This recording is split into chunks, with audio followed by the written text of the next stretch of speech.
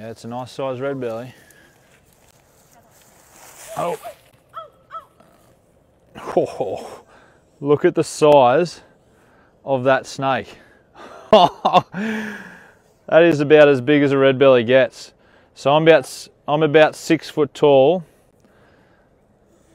I'm holding the tail probably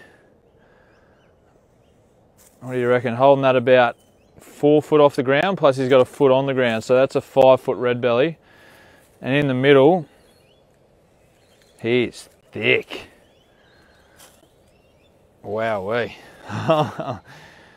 that is a big snake.